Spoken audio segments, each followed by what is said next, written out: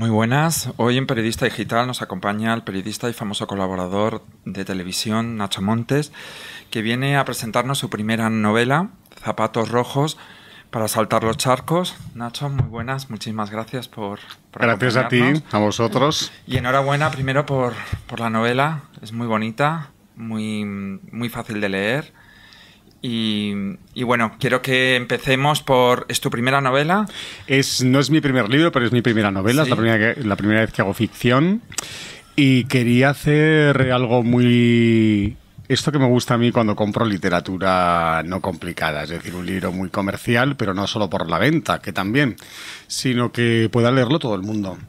O sea, un libro con rincones comunes, con espacios que nos pasan a todos, con secretos, con eh, problemas, con muchas alegrías, con muchas tristezas también, y un libro muy ligero para, para que enganche, para que, bueno, para sentirse, para que el lector se sienta cómodo, porque es lo que a mí me gusta cuando compro un libro, encontrarme con algo que me hace viajar y que me hace sentirme cómodo. Sí, sí, lo hace además.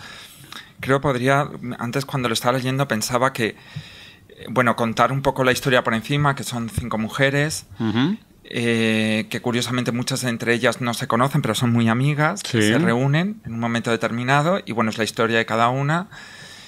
Y, pensaba, mientras, y a, propósito también del título, que ahora hablaremos de él, tenía la sensación constante de que rendías mucho homenaje a la belleza, a la belleza y el lujo como, como acto de superación como todo lo que les pasa a ellas, pero todo su entorno al final ellas luchan porque sea bonito, que sea además describes muy bien los espacios, los espacios y la moda y, todo lo que llevan y era como como el lujo más allá de algo superfluo, como cierta necesidad, ¿no? De, de, estar a gusto. Yo nunca quise, cuando planteé esta novela, cuando me planteé escribirla, que hubiese lujo como algo frívolo o superfluo, sino como como esa búsqueda de la belleza, pero la belleza no solo en el lujo monetario, sino en el lujo de los pequeños detalles, en la riqueza de los sitios, porque para mí es un lujo una tapia llena de guambillas, por ejemplo, y no hay mm. que pagarla. Uno pasa, se para y la, se detiene y la ve, ¿no? Entonces eso es lo que de verdad quería con estas mujeres, porque son mujeres que no buscan la superación económica, sino la superación personal. Todas las cinco protagonistas están viudas, ¿Por qué? ¿Por qué viudas? Eso me llama la atención. Bueno, porque su historia además es como parecida. Es una, era como era una historia de superación, yo creí que el leitmotiv de la novela tenía que ser el que hubiese un espacio muy común, aunque ya hay sentimientos comunes en el ser humano, que ya nos pasan a todos, pero que fuese muy común en todas. Entonces todas están viudas para, no para, sino mm, después de la viudedad se encuentran un camino para ser más libres no, no, tienen la viudedad o no toman la viudedad como un drama, sino como una, un estado de superación que las hace diferentes, libres, distintas y que escapan de ello, aunque muchas de ellas eh, mueren de amor cuando mueren sus maridos. Pero bueno, o sea, que por eso es que por eso decidí que las cinco fueran viudas y que las cinco se enfrentasen a la vida de diferentes maneras, porque algunas son viudas como de verdad liberación, o sea, porque no soportaban a sus maridos, y otras porque les ha tocado en la vida y entonces deciden que saltan los charcos con, con el optimismo de esos zapatos rojos. Claro, porque además, porque porque el título, además cuando lo mencionas es en un capítulo muy emotivo, justo después de una muerte, no vamos a desvelar más. Cuando cuenta, se cuenta la anécdota y la frase y sale la frase, porque los tiene algo de personal. Bueno, tiene un fetichismo aparte de personal que creo que nos pasa a todos, que es el optimismo de algo para, para quitarnos baches o para saltar baches. Entonces, yo cogí estos zapatos porque en uno de los capítulos eh, esto, bueno, no es, no es, desvelar la trama, pero sí es desvelar un poquito un secreto de la novela, que es que una niña se encapricha con unos zapatos en un escaparate, entonces su madre le dice que es muy pequeña para llevar zapatos rojos, ¿no? De tacón. Y al final es, eh, no sé, es como una aventura. Hay muchas mujeres que se suben a un zapato y se sienten más seguras, pero no es ni siquiera ni un clasismo, ni un feminismo, ni un machismo, no, es el encontrar un, pequeño detalle, un objeto que te hace que te hace caminar por la vida con optimismo cuando estás bajo. Y entonces al final, bueno, es una alegoría, o sea, es algo completamente literario, es ponerse unos zapatos rojos para saltar esos baches de la vida, que son los charcos que tienen el título, o sea, las tormentas, las tempestades, los dramas que todos vivimos, que siempre, a pesar de la tormenta, esto es como los niños pequeños que cuando hay tormenta, están en casa y están eh, aterrorizados. Y cuando se abre la puerta y aparece un padre, un tutor o la madre, eh, la tormenta se ha disipado aunque fuera siga tronando, ¿no? Pues eso es ese título, o sea, esos zapatos rojos para saltar los charcos. Siempre hay algo que nos hace sonreír para saltar los dramas, porque al final el ser humano es así, o sea, por muchos dramas que haya en la vida, yo los he tenido personalmente, pero los tengo como los tiene todo el mundo, o sea, que por eso son también rincones comunes. Pues esos dramas eh, a veces se superan con pequeños detalles en la vida, con pequeños fetiches, con cosas que parecen poco importantes, pero que pueden hacernos volar, y en este caso en esta niña son estos zapatos y gracias a esa niña también en la mente de todas estas mujeres de esta novela. Y además, aparte de ser viudas, también sus maridos, creo que de todas, han sido infieles. Eh, me, parecía, me parecía curioso mientras lo leía y también no piensas que, dejas al hombre como, como género un poco mal, porque son todos, la mayoría de ellos, excepto uno quizá. Bueno, son, son machistas, son egoístas, son eh, bordes muchas veces, son súper hedonistas, o sea, que eso es la parte del egoísmo, o sea, la parte principal del egoísmo, o sea, la egolatría, el creerse que todo está en uno y los demás no importan, y, eh, son eh, infieles. Pero yo no dejo mal a los hombres en esta novela. Es más, hay grandísimos personajes. Para mí el, el gran, el gran personaje masculino es el niño, la historia del niño y de lo que después descubre y todo lo que su mente eh, puede llegar a procesar a través de las mujeres que le rodean. En este caso su abuela y las amigas de su abuela. Pero no, yo no creo que deje mal a los hombres. O sea, creo que en este caso, estas cinco mujeres han topado con hombres que hay en la vida muy capullos, que es que eso estamos rodeados, no, hay, no, hay, no, es una cosa que yo descubra ahora en la historia de la humanidad, pero también hay hombres maravillosos, claro, hay de todo, igual que hay mujeres que no sufren por ser viudas y otras sí, pues bueno, es que no, o sea, al final es una ficción, o sea, yo he querido hacer algo que me apetecía eh, de cómo hace uno que le resbalen las tormentas, pero en realidad eh, lo demás es todo ficcionado. O sea, aunque hay muchas cosas de mí y de mi familia, pero es muy ficcionado. O sea, las mujeres están ficcionadas al extremo y los hombres eh, maltratados al extremo en cuanto a al matiz literario. O sea, les he puesto como unos capullos integrales, pero es que los hombres de estas mujeres eran capullos integrales. Y mm, son, hablamos de las cinco, aunque yo me quedo con sobre todo con la sexta en Discordia, que es Adela, que es un personaje que, a mí me ha hechizado, me ha gustado mucho. Es un personaje real. Es ¿Ah, un personaje, está basado en un personaje real que era la persona que nos cuidaba en la finca de mis abuelos eh, cuando éramos pequeños, o sea que era nuestra tata. Eh, bueno, el personaje no, o sea, digo, todo lo que es ella, física, emocionalmente, luego mm, lo que le pasa en la novela, no. Pero bueno, sí, es una gran protagonista en la sombra. Sí, a mí Adela Navascués. Me, llamaba, me llamaba la atención porque siempre me suelen llamar la atención esos personajes secundarios con, mucho poder. Y de las cinco protagonistas, eh, que son María, Bárbara, Clotilde, Palmela y Candela, ¿tienes una favorita? Yo tengo una gran favorita que es la gran protagonista de la novela, pero no por el peso, sino por eh, la importancia que es Candela Montalbán. Es evidente. La protagonista de esta novela es Candela Montalbán, porque representa a mi madre, a mi abuela, a Nacho Montes en muchos aspectos de su vida, porque representa la, pues en la libertad, en la libertad sobre todo. O sea, Candela Montalbán es una mujer en esta novela obligada a casarse en un matrimonio de conveniencia por tierras y entonces una mujer culta, preparada, eh, emancipada emocionalmente, aunque la obliguen a casarse, emancipada en muchas otras cosas de la vida, aunque viva en una finca familiar casi como en una cárcel.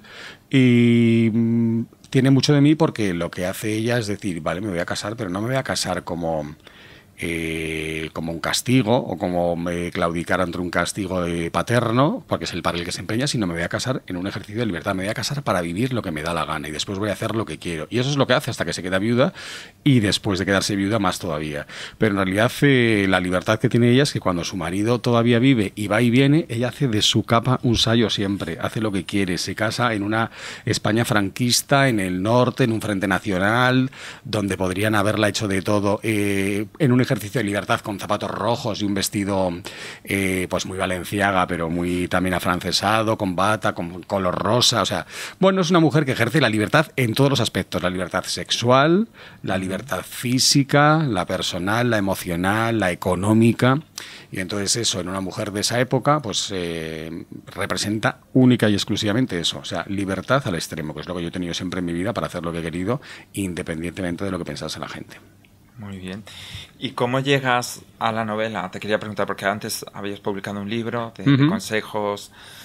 estéticos y demás. ¿Y cómo llegas a esto? ¿Se pone en contacto la, editorial contigo? ¿Era una idea que tú tenías? Bueno, es, el segundo libro que saco con la esfera de los libros. el ensayo de moda era con la esfera también. Yo había escrito antes, pero sin firma. O sea, había escrito, había hecho proyectos para algunas editoriales eh, no es un negro literario, pero sí eh, la gente que está dentro del mundo literario sabe a lo que me refiero. Pues eh, ayudar a otros a escribir, que no significa un negro, sino componer textos para libros de diferentes autores. Pero nunca había hecho nada ni con firma, ni, ni el ensayo, hasta que hice el de hace dos años, ni ficción hasta que he hecho este. Siempre ha sido con la esfera, me llamaron ellos y bueno, yo siempre he escrito. Yo antes de hacer periodismo estuve en la Escuela de Letras de Alejandro Gándara, que fui la primera generación, o sea, la primera promoción de esa diplomatura que había de creación y estudios literarios. Yo tenía entonces 19 años, estoy hablando del año 70, o sea, 89, 90 y soy del 70, sí, del 89. Y entonces, bueno, era un taller de escritura. Yo desde pequeño escribo. lo que nunca había hecho ha sido escribir comercialmente con mi nombre para que la gente supiese que eso que escribía lo firmaba yo. Y bueno, me lo ofreció la esfera, me pareció chulísimo el ensayo ese que me proponían, porque era un ensayo, bueno, era una guía de estilo, pero en realidad era un ensayo de moda, alta costura, preta porter, como, o sea, protocolo de moda puro y duro, cómo enfrentarnos a, a la vida a través de la piel que nos envuelve. Y luego de ahí que había dos eh, de estos personajes, o sea, tanto Clotilde como Bárbara, tenían un hilo conductor en ese ensayo, un pequeño hilo conductor, o sea, pequeños textos literarios. Y bueno, me propusieron, ¿por qué no desarrollar una novela? Y aquí la tenía en mente, pues esto hicimos. ya la tenías en mente antes. la tenía en mente, no escrita, pero sí la tenía en mente. Y de hecho, esos dos personajes que me tiene el otro libro eran parte de eso que tenía en mente, o sea, una novela de mujeres. ¿Cuánto tardaste en escribirla?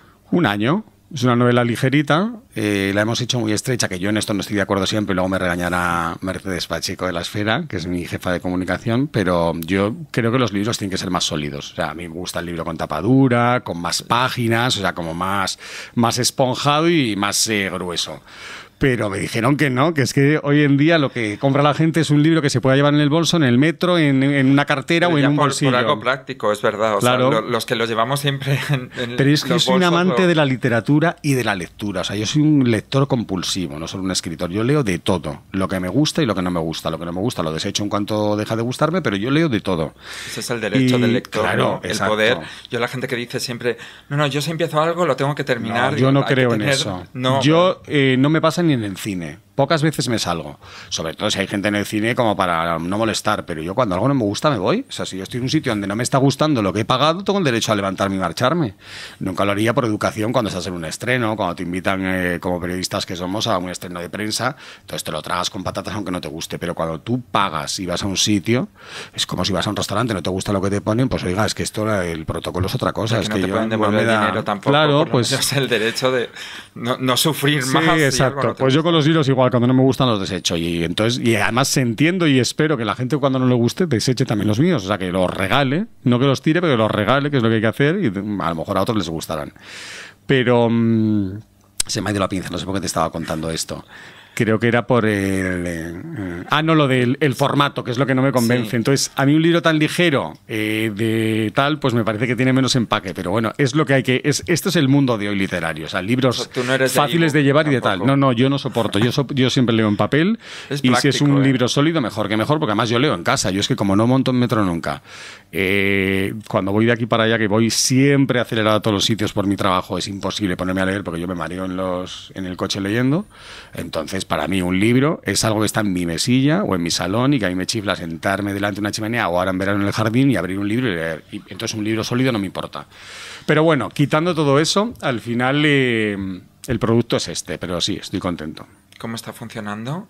Pues muy bien, no me han dado resultados aún de lo que devuelve distribución o de la tirada, porque, bueno, pues porque llevan en el mercado solo un mes y suelen, ser, suelen pasar 40, 60 días para que la distribución sea real y sepamos hasta dónde llega, pero la tirada es buena y, funciona bien porque me lo ha dicho mi editora, que es Imelda Navajo, que yo confío plenamente en ella y que ella confía en mí y a mí me encanta que confíe porque me parece una de las mejores editoras de este país.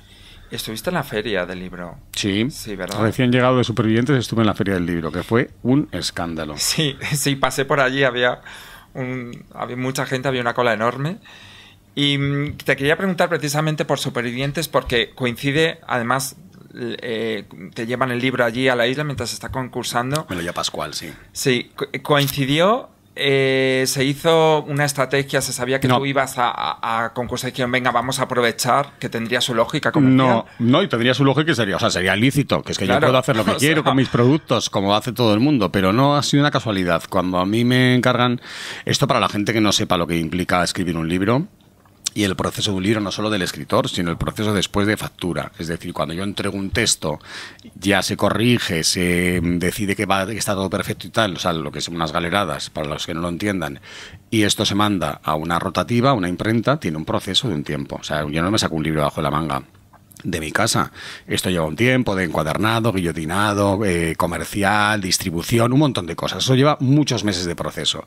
Entonces, eh, cualquiera que entienda eso sabrá que esto no estaba estudiado. O sea, yo este libro me lo contrató Imelda Navajo hace un año y medio, lo entregué en septiembre, se metió en imprenta justo pasado Navidades bueno, en septiembre las primeras galeradas, las definitivas en noviembre, diciembre. Se metió en imprenta en enero y yo firmé Supervivientes, me llamaron para hacerlo, me habían sondeado, pero me llamaron para hacerlo, o sea, para firmar ya me pidió la cadena en febrero y me fui a final de marzo. Conclusión, que cuando yo estoy en Supervivientes y Pascual me trae este libro, que eso sí, ya sí se hace como un acto, eh, como un acting total para promocionar la novela, lógicamente porque uno de los concursantes está ahí, pero sin que nadie los, yo no lo sabía, o sea, para mí fue una sorpresa, no me habían dicho que lo iban a hacer. Eh, pues todo el mundo puede entender que eso estaba masticado de antes. O sea, yo no hago una novela cuando estoy en Supervivientes 10 días antes y me la llevan allí, claro. no, no, si era que pensaba que decía, bueno, la teníamos pensada para sacarlo más adelante o algo, no, la novela a adelantarlo, a retrasarlo para, para, que pueda coincidir. Se firmó para, para salir a la venta el 13 de mayo. Y cuando yo me voy a Supervivientes, una de las cosas que digo es, no sé si puedo, tengo que consultar con la editorial porque yo tengo un contrato con la esfera y salgo a la venta el 13 de mayo. Tengo feria de libro contratada, bueno, un montón de cosas. Entonces lo consulto, en la esfera me dicen que no hay ningún problema y aunque yo estuviese hasta el final, que es lo que pasó, que estuve todo el programa completo, si me pillaba que estaba en, Honduras eh, cuando sale el libro, el libro salía igual.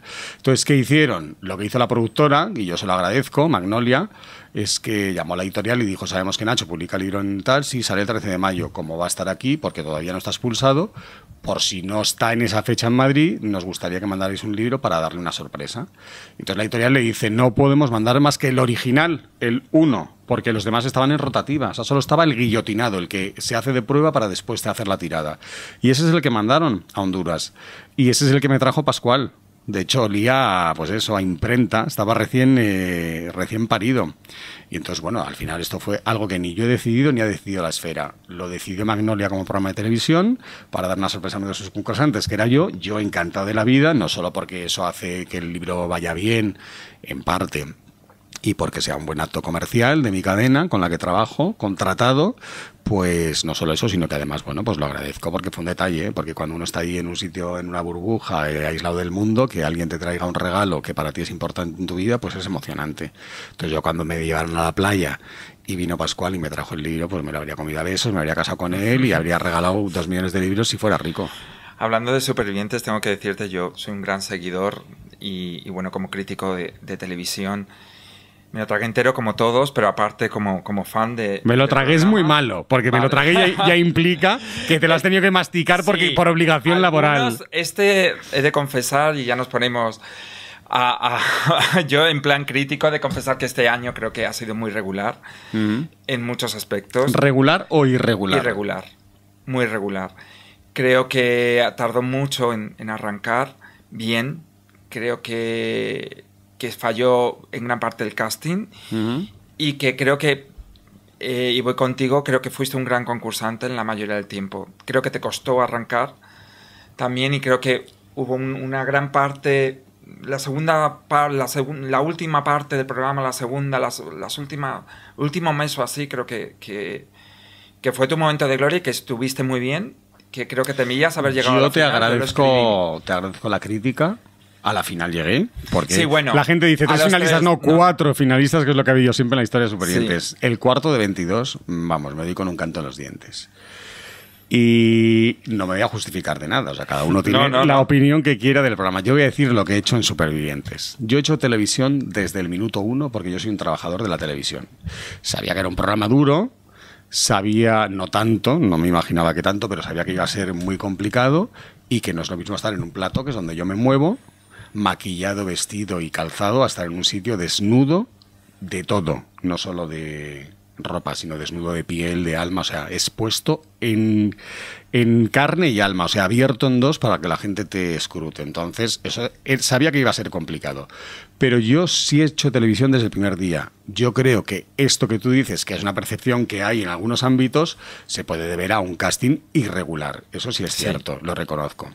Pero... Más que regular, también decepcionante. Creo que había... No, decepcionante yo creo que no. Yo creo que había figuras que nos esperábamos más y de hecho creo que de los que esperábamos menos, que suele suceder en, todo, en todos los realities también, de quien esperas más, a veces no, no obtienes lo que gente que parece que va a pasar más desapercibida de pronto da... Pero si me dices eso como buen analista, tendrías entonces que saber que lo que yo he hecho ha sido un ejercicio de televisión. Empecé flojo y acabé fuerte, porque los que empiezan fuerte se consumen antes y al Cuando final no dices que es un ejercicio de televisión, ¿qué implica teatro? No, teatro no porque yo en la yo creo que la televisión es un medio que nunca que, o sea, que al, que tú no puedes engañar. No eso es cierto. Entonces eh, esto es como un actor de teatro o un actor de cine. Un actor de cine tiene un guion si tiene que repetir 19.000 veces repite. Un actor de teatro si repite una vez le echan. Entonces cuando se equivoca rectifica en directo e improvisa. Y eso es lo que he hecho yo. Yo llegué a un plato inmenso que era un espacio natural en directo donde nos grababan 24 horas al día empecé muy medido para saber calcular mis tiempos, mis límites, mi todo, mis distancias, no solo físicas. tenías la famosa estrategia. Bueno, eh, pero es una estrategia de concursantes. Llego, me posiciono, observo y después actúo. Entonces, todo eso en un proceso, en una isla, porque la gente cree que esto es un plato de televisión con cuatro plantas, una maravillosa playa y que detrás de eso hay 50 bungalows de lujo con duchas. Y no, nosotros estamos tirados en un islote en medio del océano donde metes un pie y a los dos metros hay arrecifes de coral de fuego que te queman las piernas y que yo llevo todas las piernas llenas de cicatrices, que comíamos 50 gramos de arroz al día porque los ganábamos en pruebas de recompensa con nuestro sudor y que no nos lavamos en tres meses con agua dulce ni jabón. O sea, eso es la realidad y durmiendo en un suelo. Entonces, el que no se lo crea, pues que no se lo crea, pero esto es la realidad de supervivientes. Entonces, cuando llegas allí, ¿yo qué hago? Pues veo ese plato, es un escenario natural que no es el plato en el que estoy cobijado, un plato de cristal con camerinos y donde la luz te favorece en vez de perjudicarte y que todo es maravilloso. Entonces dije, si yo he hecho el resto el primer día, como en un plato, pues al cuarto estoy que me quiero ir a mi casa. Entonces, ¿qué voy a hacer? Hacerlo poco a poco. Entonces empecé muy suave, fui subiendo y acabé dando guerra, que es lo que hago yo siempre en mi vida normal.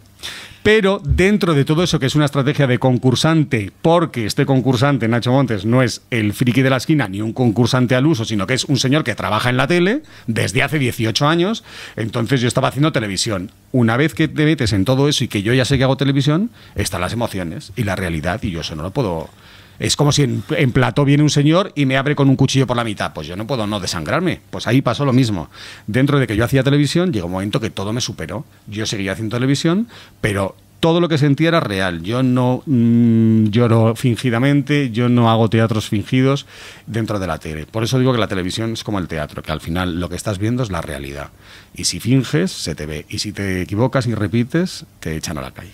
Dijiste allí que te habías enamorado dos veces. dos veces te enamoraste. Y supongo que allí también se magnifica todo. Cuando vuelves. No, yo en la vida me enamoro de mis vecinos y me gustan. no tengo problema, yo he sido así siempre.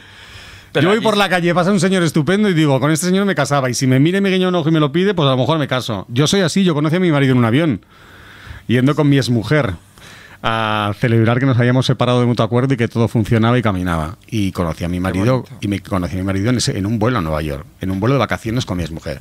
O sea que yo cuando cuento estas cosas, que las he contado poco, pero en la televisión lo saben porque lo conté una vez en La Noria cuando mi marido se estaba muriendo, que luego me, pusieron verde por mil sitios, pero me dio igual porque lo hice porque me lo pidió la cadena. esa entrevista. Em, es lo único que yo me arrepiento de haber hecho en mi vida, de haber dicho que sí a mis amigos. Creo que, que fue sea, a mí me sorprendió, si te soy sincero, la reacción de una pregunta que te hizo, si quieres no la comentamos, María Patiño.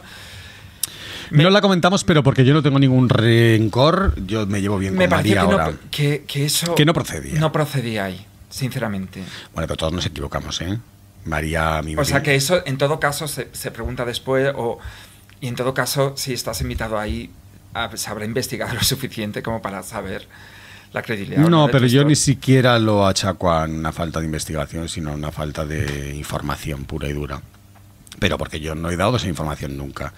Yo soy muy consciente de lo que significa trabajar en la tele. Y soy muy consciente de que cuando alguien es muy crítico, como yo lo he sido muchas veces porque era lo que me tocaba, crítico porque analizaba el comportamiento de los demás, cuando un día estás en el otro lado, pueden mm, abrirte en canal a ti también. Entonces, bueno, eh, era consciente cuando me senté. No quería hacerlo, me senté porque me lo pidió, me lo pidió mi empresa, me lo pidieron amigos que trabajan en ese programa y dije que sí, luego me arrepentí, pero bueno, una vez hecho, a lo hecho pecho yo siempre tiro para adelante. Pero es que es verdad que a través de... Recuerdo que antes de esa entrevista yo no, no, conocía nada de tu vida prácticamente. O sea, te conocía en la tele, no, no... Y fue a partir de ahí que se ha abierto, no sé si para bien o para mal, o como que hay una imagen diferente. Fue para bien por una razón. Fue para mal para mí porque yo nunca he estado incómodo en un plato o nunca me han hecho sentir mal o dolido y, ahí, ese día me sentí.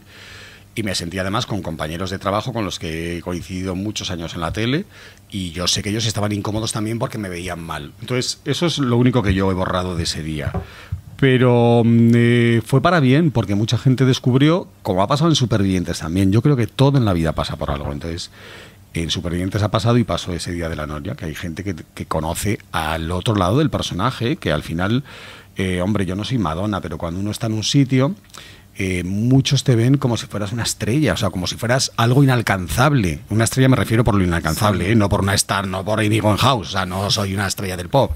me refería a como algo que no puedes controlar ni alcanzar, que está allí, que brilla de vez en cuando y tal.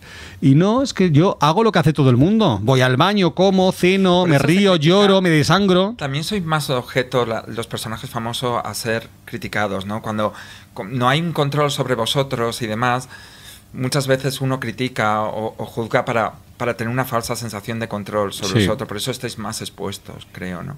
Puede ser. Eh, de todas formas, creo que en Supervivientes también hay otra etapa tuya dentro de como, como, como personaje televisivo. Hasta entonces habías participado también en, Mira quién salta, como profesor en, en Las joyas de la corona. Eh, y de pronto creo que hay, no sé eh, si sabes aún eh, en qué consecuencias tiene el, concurso en tu vida. Todo es positivo. Todo es positivo. Todo es positivo. Lo único negativo, lo único negativo que creo que tiene este concurso, y a mí no me ha pasado, es el que uno vuelva con un problema de salud. ¿Qué puede pasar? Pero te puede pasar eh, allí, o sea, esto no tiene ni culpa al programa, ni culpa a la productora, ni culpa a nadie, te puede pasar de vacaciones en México. O sea, tú te vas a un sitio tropical y te tomas una ensalada sin lavar y vienes con un bicho tropical en el estómago que te Mm, iba a decir un taco, o sea, que te destroza la vida para siempre. Pues eso es mala suerte. Eso es lo único que me daba miedo a mí que, que pudiese pasar. El resto todo es positivo. Hay habido cosas negativas, yo lo he pasado muy mal, he pasado hambre, frío, soledad, muchos días de angustia, eh, mucho dolor, ausencias, un montón de cosas, pero en un tiempo acotado y protegidos por una productora que dentro de todo eso malo, pues cobra semanalmente lo que la gente no gana en un año, entonces yo no me puedo sentir mal por eso. O sea, sabía lo que iba y lo he cobrado eh, no solo en mis carnes, que he perdido 26 kilos, sino también en lo que he ganado. Eh, lo malo solo podría ser un problema de salud. Lo demás es positivo. O sea, yo he llegado y me he encontrado el, el feedback más brutal que me podía imaginar. Que, vamos, que nunca me, me hubiese imaginado. La gente encantada. Antes llegaba un público mucho más joven eh, y más liberal, o sea, a lo mejor un público más gay o un público más adolescente. Y yo he llegado aquí y gente que no me paraba en la calle nunca me para. O sea, señores de 60 Mi madre, mi madre también. Señoras, abuelas, padres, madres, abuelos, mi padre que no ve la televisión me seguía, mis sobrinas, o sea, he subido todo el target que podía imaginar y lo he bajado. O sea, he bajado a los adolescentes de 14 años y a los señores de 70. desde Eso es bestial y todo positivo. Nadie me dice en la calle que mal. Cuando se, cuando es cierto que hubo una sorpresa contigo porque cuando se presentó el, el casting yo me acuerdo que lo hablábamos en la redacción y con otros críticos de televisión que decíamos, este va a ser el malo, o sea, Nacho va a ser el malo de esta edición. Va a ser el, el, el, Aida Nizar de esta edición va a ser el, cañero y sin embargo, sin embargo no ha sido así, creo que eso se lo ha Pero yo sabía que eso iba a pasar. y yo he jugado a mi favor por eso. No porque fuese a hacer un papel, porque es que yo soy lo que he sido. O sea, o he sido lo que soy, mejor dicho, he sido lo que soy. Pero yo sabía que me veían como va a llegar ahí pues el guerrillero de las joyas o un Aidanizar o un crítico, el crítico del debate de Gran Hermano, que nos va a poner a todos verdes por tal. Y sí, he puesto verdes, pues lo hago en mi vida normal. A mí, mis hermanas, si un día no se duchan, también les diría, eres una cerda, no te duchas. Pues es lo que le decía yo a Lee, por ejemplo. Pero en el fondo he sido lo que soy, un tío blando, vulnerable. Y como yo sabía que iba a tener... Eh, ese, ese, a priori, ¿no? De, ay, este va a dar caña, y de repente que yo me abra en canal sufriendo, pues eh, supongo que he hecho que ganar a mucha gente confianza y luego que mucha gente que me veía como un tío guerrero, como un diablo, ha encontrado un ángel y entonces eso, pues puede ser favorable. Para mí ha sido favorable porque la audiencia, que es lo que más me importa a mí en la televisión, y el que diga que no, que trabaja en la televisión miente, porque la audiencia es quien nos mantiene. Esto es como cuando tú trabajas en una empresa de encurtidos y si eh, los señores que compran las aceitunas dejan de comprarlas, tú dejas de trabajar. Pues esto es lo mismo. Nosotros hacemos productos, sean churros, aceitunas, neumáticos o programas de televisión. Cuando la gente deja de consumirlos, el producto ya no vale y entonces dejas de trabajar. Eh, eso lo tengo clarísimo. Entonces, lo principal es la audiencia. Pues a mí esa audiencia, que es la que nos compra los churros todas las semanas, me ha salvado seis veces consecutivas. O sea, da igual la crítica, da igual que, ha sido buena, pero aunque hubiese sido mala, da igual lo que digan. ¿Quién decide en la televisión? Estos señores que me salvan. Porque Lomana, que es un personaje con el que yo he sido muy crítico dentro de su participación del concurso, ¿por qué, eh, estuvo eh, o sea, ¿por, qué llegó ¿Por qué a, llega una final? Pues porque tuvo la suerte y esto no creo que se enfade él si un día lo escucha porque lo hemos hablado, tuvo la suerte de que le echasen, le echasen pronto y fuese a un palafito. Y el palafito es una plataforma de promoción y marketing. Lo tengo muy claro. Duro, porque es duro, yo no sé si sabría estar en un palancar encima del mar durante tantas semanas, pero menos duro que aguantar a 22, jauría, a 22 eh, llenas de una jauría, eh, que es lo que he hecho yo, aguantar a muchos tipos. Para ti. ¿De compañeros? No lo voy a decir, yo soy un caballero. Yo he salido de la isla y todo lo malo se ha quedado en la isla. Hay gente a la que yo no soporto, pero hasta el límite de que no me sentaría a comer con ellos, porque no me aportan nada. Pocos, ¿eh? pero los hay. Y luego, luego, gente, luego gente con la que me puedo encontrar en la vida y seré súper educado y encantador, y gente que va a ser amiga mía para siempre. ¿Katia? Katia va a ser una buena amiga. ¿Al final habéis solucionado? Sí, Katia me mandó un mensaje una vez que estábamos ya en Madrid los dos, me dijo que si podíamos tomar un día un café. Yo le dije que sí, que encantado. No, me dijo que si quedábamos. Yo le dije que tomábamos un café cuando quisiera. Y ella me dijo que mejor una cena, que un café era corto y que necesitaba hablar muchas cosas. Nos fuimos a cenar. Hicimos una cena de cuatro horas y pico, con copa y en petit comité. Ella fue con una íntima amiga, yo con un íntimo amigo, o sea que fuimos cuatro personas y no fue estupendo. Y después hemos coincidido en el orgullo, hemos estado juntos en una carroza, hemos presentado juntos cosas. O sea, eh, laboralmente vamos a coincidir mucho y personalmente también nos mandamos WhatsApps y además con mucho cariño. O sea, yo creo que cuando, cuando has querido tanto a alguien en un sitio tan extremo, aunque luego te hayas matado, eh, no puede. Esto es como los amantes, ¿no? O sea, que un día a tu marido, a tu amante, a tu novio, a tu lo que sea, le amas y al día siguiente te hace una jugarreta y le odias, pero no dejas de amarle aunque le odies. Entonces... Sí, eso lo dices. Además, en, en el libro hay un momento, uno de los personajes que a mí me gusta mucho, el de Pamela, que no, no, no, se puede, lo están discutiendo y no, no se puede dejar de, de, amar. Por, es que a veces es imposible. Yo no he dejado nunca de amar ni aunque me desangren. De hecho, mira. amar otra vez, no dejas de amar a esa persona. Ah, no, claro, es que se puede amar de mil maneras. Yo siempre he dicho que amantes, en el libro también viene, que amantes son los que aman en cualquier medida, en cualquier espacio, en cualquier circunstancia. Amantes son los que aman. A mí el amante no es si tú y yo estamos aquí echando un polvo y entra por ahí un señor y si es tu marido yo me escondo bajo la mesa. No, eso no es el amante. El amante es el que está contigo echándote el polvo, no el que se esconde. Con todo lo que esto conlleva, ¿eh? lo del polvo y el amor. O sea, quiero decir, el amante es el que te ama, el que te aprecia, el que te quiere, el que te cuida. Eso es un amante, ¿no? Y además es que es lo que dice el castellano. Amante, el que ama, se acabó, no hay más que decir. Entonces, cuando tú has amado, no puedes dejar de amar. Yo amo a todas las personas que he compartido, con las que he compartido mi vida. A mi mujer, que estuve casado con una mujer muchos años, a mis primeros novios, a los últimos y amaré a los que vengan. ¿Qué pasa? Que cuando estás en un proceso distinto, o sea, cuando, si yo ahora estoy enamorado de un señor, que no lo estoy, estoy en el mercado, por si alguien tiene dudas, que luego me dicen de todo. Estoy en el más absoluto de los mercados, ya me encanta la vida, recibo todos los días por todas las redes sociales todo tipo de propuestas. O sea que me... Es verdad, hace poco leí en, en, Sálvame cuando hubo, o sea, lo vi en Sálvame, que, que, como que tenías novio cuando hubo todo este lío con... No, eso es un amigo mío de siempre que me acompaña en Plató hace mucho tiempo, que viene a Plató, es un buen amigo que en su día fue amante y ahora es amigo. Y entonces, como me acompaña a Plató, me acompaña en los momentos difíciles, estuvo el día con mis hermanas, el día que yo llegué, pues ya te adjudican que es tu novio, porque si no, que pinta ahí. Pues no es un señor al que quiero, y como le quiero y le quiere mi, mi familia, pues está allí. Pero también estaba mi exmujer. Lo que pasa es que mi mujer es más lista porque me conoce hace 22 años y, no un año y medio como este amigo mío que se llama Nacho. Y entonces, ¿qué hace mi mujer? Ponerse en un sitio donde no se la va a ver nunca. Mi mujer siempre está en la sombra, pero siempre está en todos los sitios. Estaba en Platón el día que fui. Estaba eh, eh, está en mis cumpleaños, en mis celebraciones, en mis entierros, en mis bodas. si yo tengo que enterrar a un amante, está mi mujer. O sea, no tengo ningún problema en eso. Y toda esa gente que ha pasado por mi vida sigue estando. Entonces le sigo amando en diferente manera. de diferente manera. Yo a mi mujer la amo, claro, la amo ahora ya con el peso de lo que ha sido nuestra historia, con una maleta con un equipaje. Se acabó. No la amo de deseo sexual ni de deseo físico, pero la sigo amando en otra, en otra medida. Y entonces, cuando tú tienes una relación ahora, amas de una manera y a los que están detrás les amas de otras, pero amar les amas a todos. O yo por lo menos, yo no sé arrancarme el amor de, mi vida. Entonces yo hay gente a la que voy a querer hasta que me muera y a algunos les voy a querer incluso después de muerto. Muy bonito, ese ya es un gran titular. Con una, una pregunta muy directa.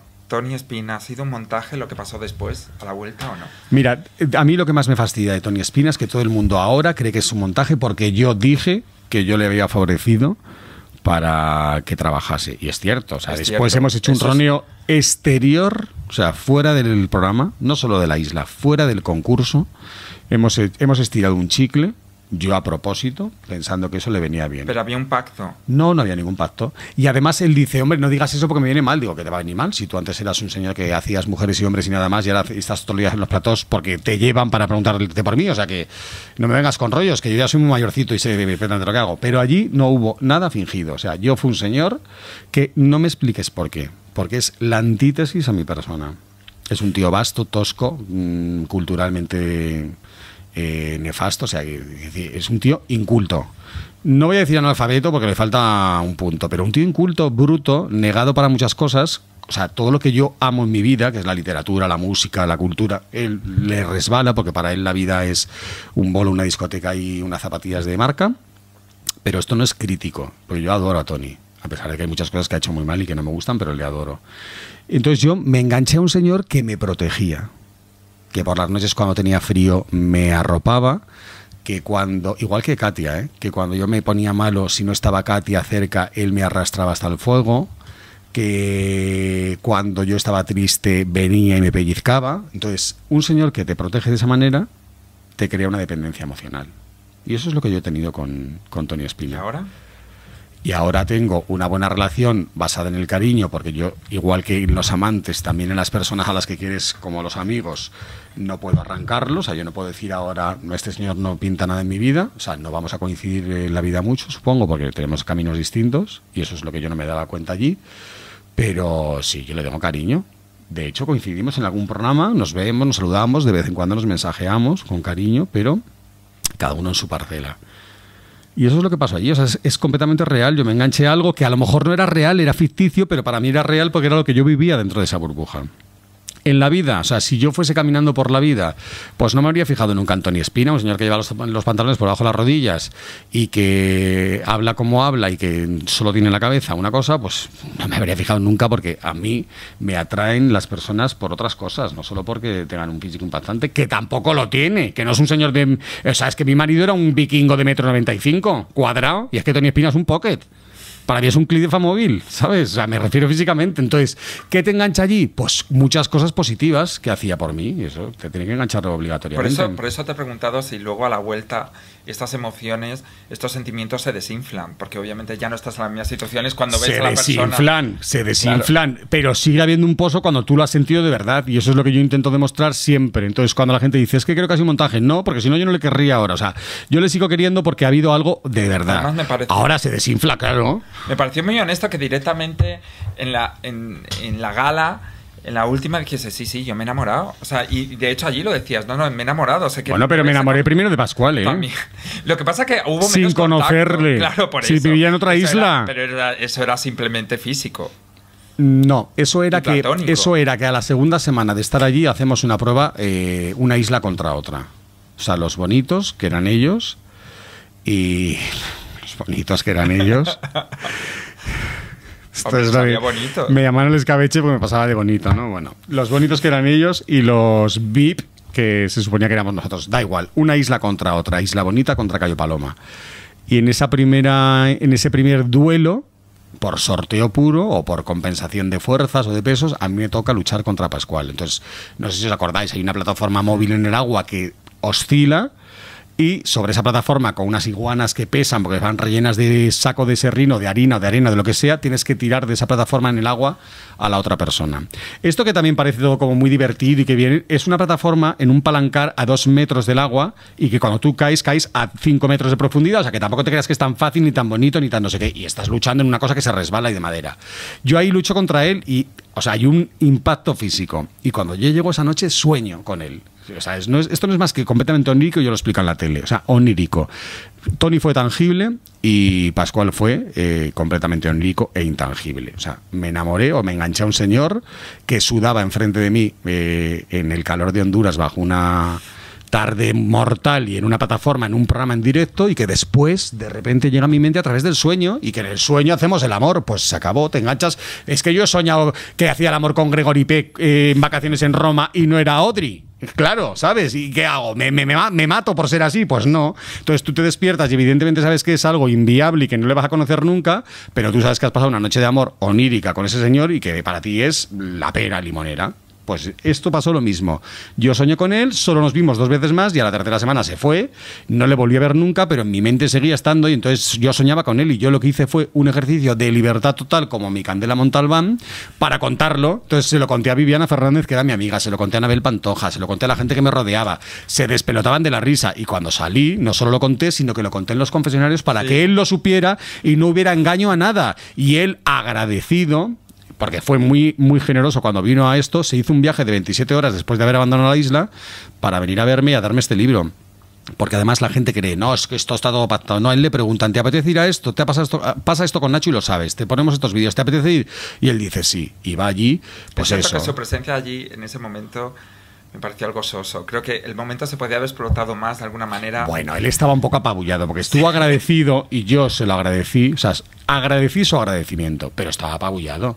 Porque un pavo de 44 años que voy a hacer yo la semana que viene, de metro 90, que te diga, pues me encantaría que me pusieras mirando a Roma, pues a un pipiolo, por mucha televisión que haga y por muy tal, a un pipiolo de 25 o 30 años, pues se le hace el culo pesicola.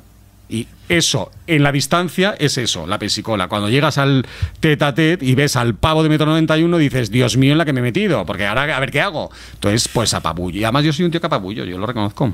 Impongo. Sí, impones. Luego, es, verdad, ¿eh? Antes cuando nos hemos visto, al principio era como, me por físico porque pareces más serio. Eh, Mira, esto me ha pasado desde pequeño, pero es una cuestión que a ti te pasa un poco también por tu, por tu estructura.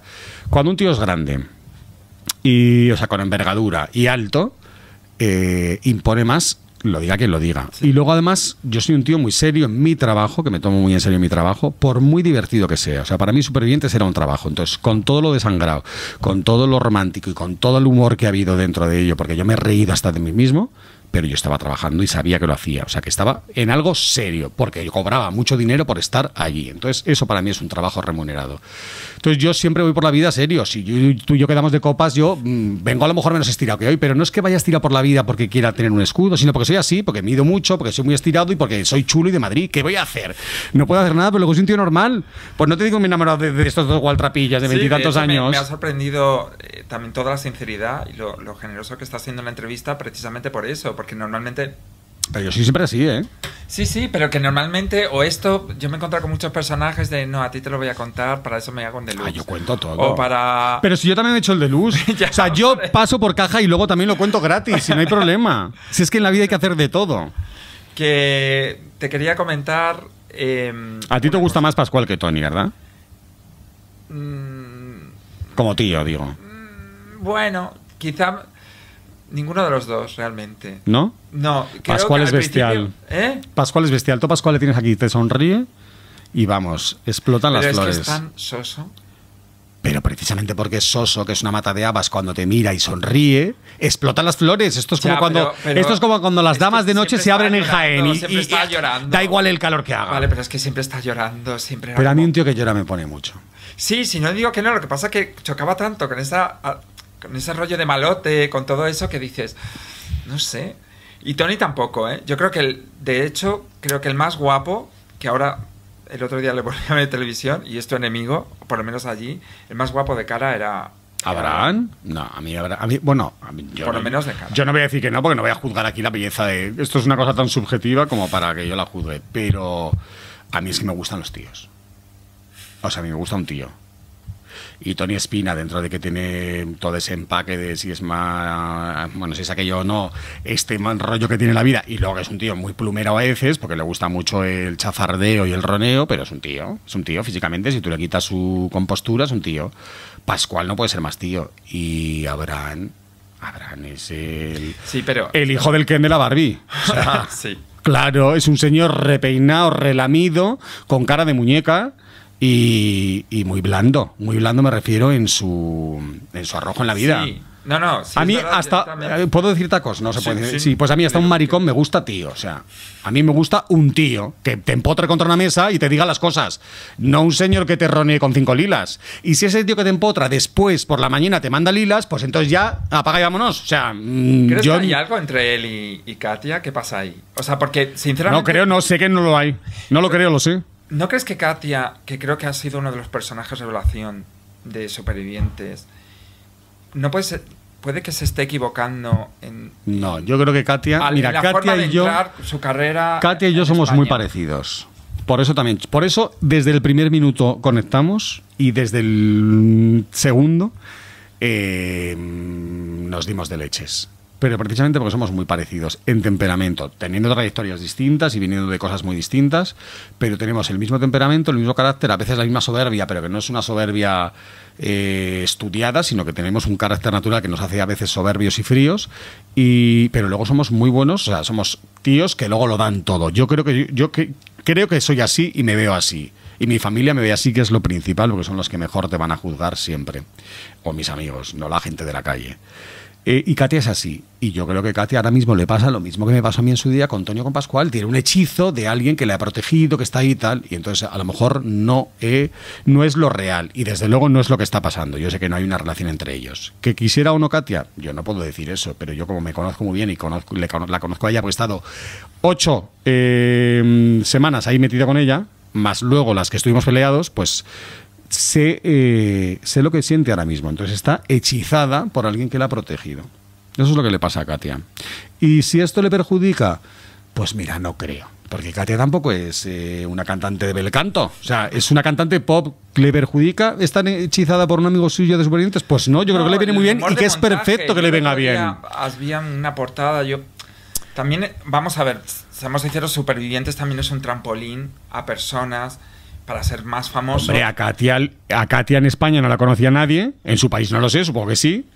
Y es más, a ella le dolía, pero es la realidad. Katia era la hermana de Cristiano Ronaldo y ahora Katia es Katia Supervivientes 2014. Eso es algo innegable que yo se lo dije.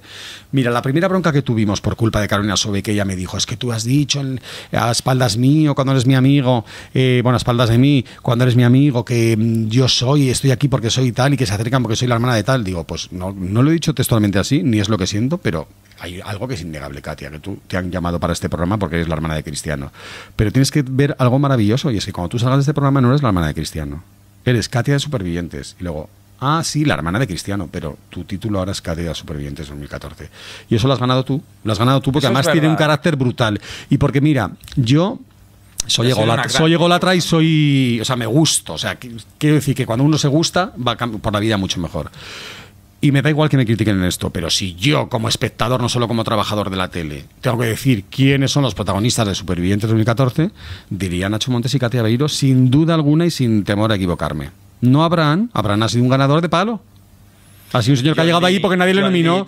O John Lee, exactamente. Mm. Yo a mí me preguntaron a dos semanas de la final ¿quién te gustaría estar, ¿con quién te gustaría estar en la final? Y dije con John Lee, que ya va a estar porque ya le he hecho yo finalista, puesto que yo no le voto a propósito la noche que se decidía el quinto finalista, y con Katia, aunque estábamos peleados todavía. ¿Viviana que se equivocó? Pues no sé si se equivocó. La gente dice que se ha equivocado. Yo creo que Viviana eh, fue allí a, a saldar una deuda no solo económica, una deuda personal, es decir, fue allí a algo que le favorecía. Y entonces yo no creo que se haya equivocado. Yo quiero mucho a Viviana y además eh, tengo buena relación con ella, o sea que a lo mejor no soy objetivo. Pero la gente dice que la veían fría, que la veían sosa, que la veían que no era tal. Yo creo que fue muy divertida, fue muy generosa. Pasábamos las primeras noches, eran brutales porque nos contaba cosas. Viviana es un libro, o sea, un libro en todo. no para, y además no para, pero con sentido, porque hay gente que no para de hablar y no dice nada que hablan, hablan y no dicen nada. Y Viviana es una señora que dice de todo, porque tiene un equipaje de vida bestial. Y entonces a mí me encantaba escucharla y me encantaba lo que nos contaba. Y cantaba y nos contaba anécdotas, era súper generosa, era muy mami, muy quisquillosa en muchas cosas, porque Viviana es así, pero claro, es que es una señora de 60 años. ¿eh? ¿Qué quieres? ¿Que vaya ahí y trague con todo? Pues no. Entonces yo no creo que se haya equivocado. Yo creo que los que se han equivocado son los que la han contratado que han pensado que iba a ir allí a hacer una pantomima. y Viviana es una señora. El que creo que era el personaje también más, más querido a un nivel anterior de. O sea, era muy popular y muy querida, porque Viviana es muy querida desde hace mucho Es muy difícil cuando tú llegas a la tele con tanto cariño eh, continuar así. Claro, es decir, cuando vas a un programa a un programa límite, porque esto no ha es sido más nuestro desde como espectadores que totalmente. ella. de hecho no ha hecho nada eh, como para que, eso mismo ha jugado a tu favor. Contigo creo que el espectador pero yo, pero yo lo sabía, pero yo lo sabía cuando negativo y cuando y se, se, ha vuelto al contrario. Y con ella había un prejuicio positivo y entonces obviamente te va a decepcionar, mm. que, creo que es lo que ocurrió. Pero es fácil, yo no es, para mí no es una decepción como espectador. Si lo veo desde fuera no es una decepción, pero es fácil eh, que alguien que cae tan bien, tan bien y que, y que la gente la quiere tanto, si flaquean cualquier cosa, pierda ese encanto o pierda parte de ese encanto, de ese cariño. Y alguien que es muy crítico, como era yo, pues que llegue ahí, que la gente se embobe, pues bueno, pues sí, a lo mejor eso jugaba a mi favor, pero es que también me llamaron por ello. Entonces yo es que yo soy perfectamente lo que soy en la vida siempre. Que mm, ahora que la novela, ¿qué más? ¿Dónde...?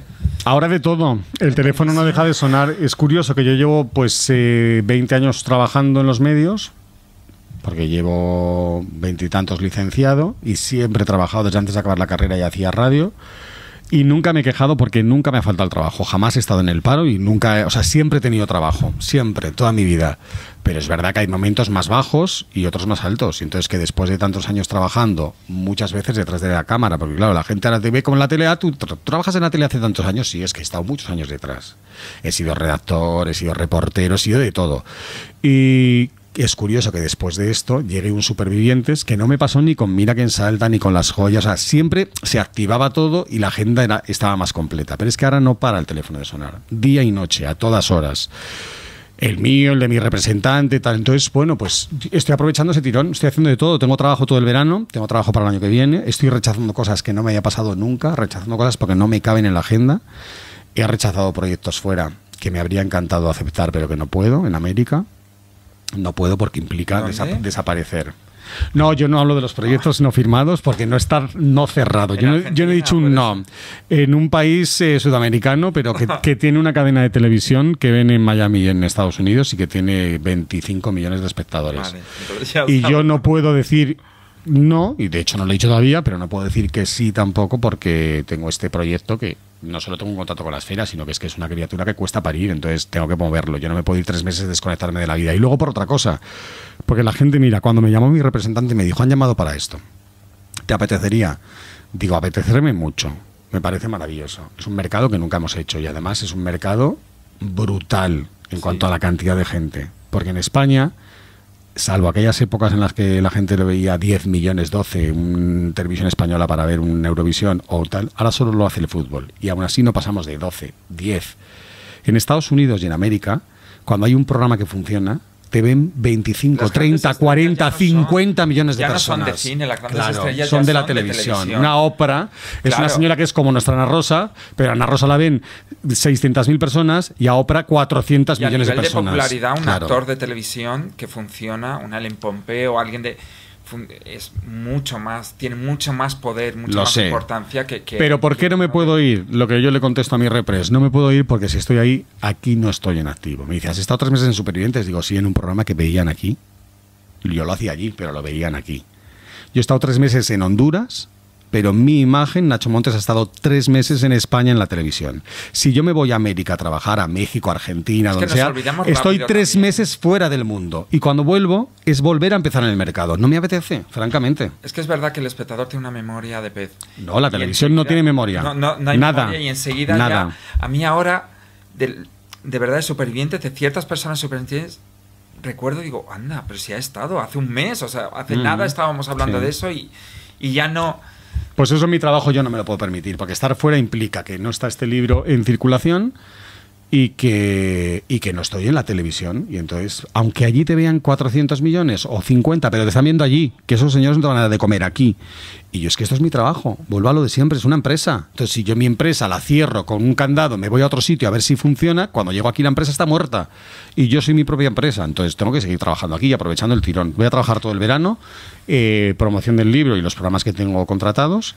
Porque y, te lo recomendamos, lo vuelvo a repetir, el libro... Que me encanta, Zapatos Rojos para saltar los charcos, que me chifla porque es un producto que he hecho con mucho cariño y que además me gusta, no solo como escritor, sino como lector, porque yo me lo he leído después del tirón es que sale muy bien. cuando volví de la, de la, isla para ver cómo había quedado el producto final y me chifló la historia que había creado yo, pero me chifló, te lo digo de verdad. imaginaba en, una casa que tengo en Galicia leyéndolo, digo, es que es ideal para eso, o sea, te vas a esta la piñonera, Esta piñonera, esta finca está basada en toda mi historia infantil de Pirineos, la casa de mis abuelos, los sitios a los que yo iba, el río gallego que cruzaba todo aquello, todo el Valle de los Pirineos.